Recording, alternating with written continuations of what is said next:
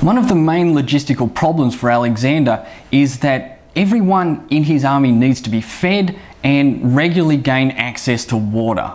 Not only does he have all these people, but he had up to 10,000 animals, both pack animals and cavalry, with the expedition. Now, each person requires about 1.3 kilos of food a day and at least 2 kilos of water. That means for an army of around 40,000 people, you need about 84 and a half tons of food every day and 130,000 litres of water every day just for the people. If you include 10,000 animals as well, there's another 90 tons of food and fodder and another 300,000 litres of water that is needed every day. And it's this logistical requirement that often dictates the pace of Alexander's campaign. You have to move from food and water to food and water. You can't rely on carrying it yourself.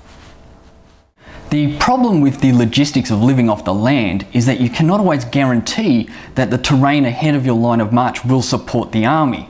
A prime example of this is Alexander's march through the Gedrosian desert when he was returning from India and heading back towards Babylon. In this instance, he had his fleet under Nearchus parallel the army as it advanced across the desert. It was Alexander's hope that the fleet would be able to resupply the army and bring in food from further afield. Unfortunately, the two sides didn't coordinate and communication was lost. This led to many of Alexander's men dying of hunger, thirst, and heat in the desert on their return to Babylon.